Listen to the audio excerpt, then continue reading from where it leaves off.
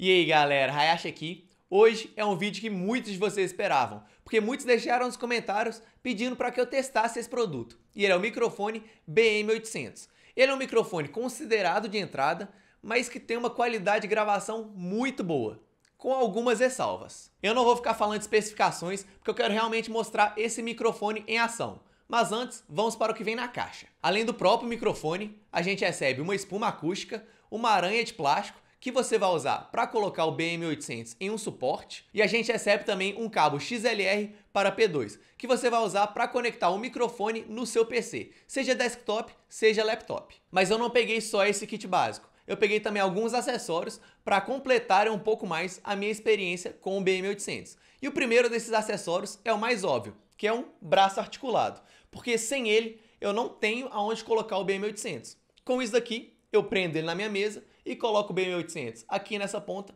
e aí fica muito fácil usar e parar de usar o microfone. Quando eu quero, eu estico. Quando eu não quero, eu chego, volto e guardo. É muito bom, isso aqui traz uma facilidade muito grande. E o segundo acessório é um cabo XLR para XLR.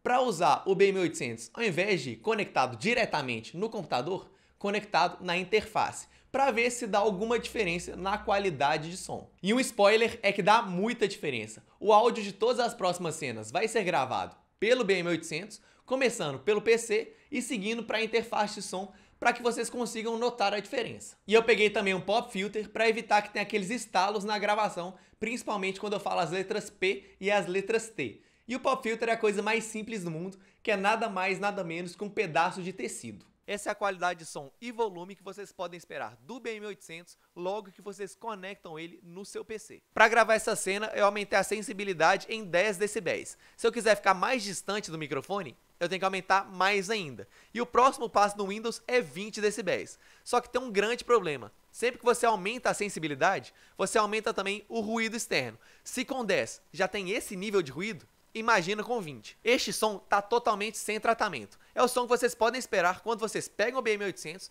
conectam no seu computador e aumentam um pouco a sensibilidade. Só que se vocês tiverem qualquer software de áudio, vocês vão ter alguma ferramenta para diminuir esse ruído externo. E é o que eu vou fazer agora. Eu ativei a ferramenta de Noiser e diminuiu bastante o ruído externo. Só que ela gera dois problemas. O primeiro é basicamente desprezível, porque ela diminui um pouquinho o volume só que ela também modifica o tom da minha voz. O meu tom fica um pouco menos natural.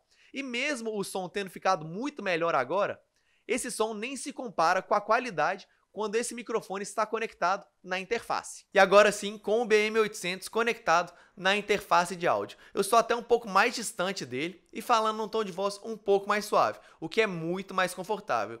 Eu acho que realmente o diferencial para usar esse microfone é ter uma interface de áudio porque o som fica muito mais claro e num volume muito melhor. Se eu precisar ficar mais distante, é só aumentar um pouquinho o volume ali na interface que o som continua muito claro e eu consigo ficar mais distante. Isso daqui, em uma situação de podcast, é muito bom, porque me garante um pouco mais de movimento.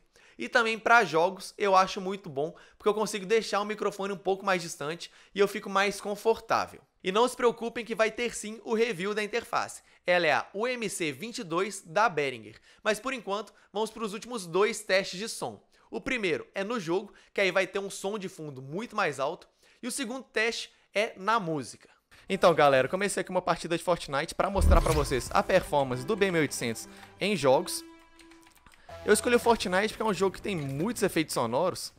Aí é bom para saber se durante o jogo a minha voz vai continuar sendo o aspecto principal ou se ela vai ser dominada pelo, pelos efeitos sonoros. Eu acho que até agora vocês já conseguiram perceber. Então vamos para o último aspecto, último teste do vídeo, que vai ser o teste musical. Aí para isso eu chamei a minha mozona e o meu amigo Carlos para mostrar para vocês que não precisa ter talento quando a gente tem amor.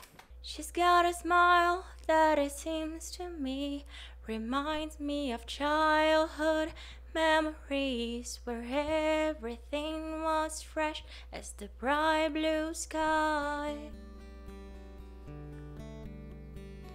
Now and then, when I see her face, she takes me away to the special place. And if I stare too long, I'll probably break down and cry. Oh, oh, oh, sweet child mine. Oh, oh, oh, oh, sweet love of mine.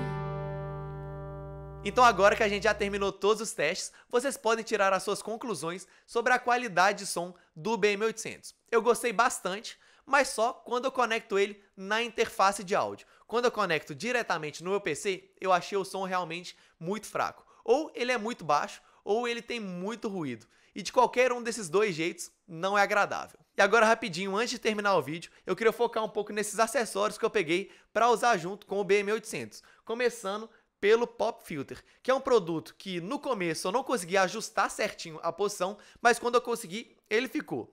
É um produto que na verdade eu nem sei se eu preciso, mas se precisar, ele está aqui para proteger. O braço articulado é um produto que não me passa muita confiança, justamente pela conexão entre o braço e o próprio apoio dele. O apoio dele se fixa na sua mesa por pressão, então se você tiver uma mesa de vidro igual eu, eu recomendo que você coloque um calço. O braço em si se encaixa nesse apoio, só que esse encaixe não é muito fixo. O braço fica sambando um pouco nele e parece sempre que ele vai cair, mas ele nunca cai. Ele tem um comprimento que eu achei muito bom, eu acho que vai atender a todos vocês e o movimento dele é muito satisfatório e muito suave. Se você quiser usar ele, você puxa, se você cansar, você simplesmente chega e guarda ele. É um movimento muito simples e realmente muito suave. E vamos falar do terceiro produto, que é o único que realmente me decepcionou, que é a aranha de plástico. Ela estava funcionando super bem, eu ia falar muito bem dela, só que logo antes desse vídeo eu fui apertar para deixar esse movimento aqui travado. E eu acho que eu apertei demais e estourou o plástico dessa conexão. O que é realmente muito desagradável. Deve ser a quinta vez que eu aperto isso daqui e ele já quebrou. Então, se vocês pegaram o BM800, tomem muito cuidado com essa aranha de plástico. Eles até vendem a aranha de metal, só que eu não sei se faz muito sentido comprar. Por quê? A aranha começa nos 80 reais, eu acho. E esse microfone você acha no máximo por 200. Então, se você comprar um acessório de 80 reais para um produto de 200, pode ser uma decisão bem complicada. No meu caso, como eu gostei muito desse microfone e pretendo usar ele por mais tempo, eu acho que pode sim fazer sentido, principalmente pelo fato dessa aranha de metal me passar a noção de ter uma flexibilidade maior, pelo fato da conexão dela não ser feita para essa pontinha de plástico aqui do braço articulado, e sim ser aquela entrada mais grossa que vai se encaixar perfeitamente num tripé para microfone, o que é excelente. O vídeo vai ficando por aqui, espero que vocês tenham gostado. Se gostaram, deixa aquele like, me ajuda muito. Não se esqueçam de se inscrever no canal e apertar o sino de notificações para não perderem nenhum dos meus próximos vídeos. Se vocês tiverem interesse em comprar o BM800, o link está na descrição, junto com os links das minhas redes sociais. Vejo vocês em um próximo episódio. Valeu!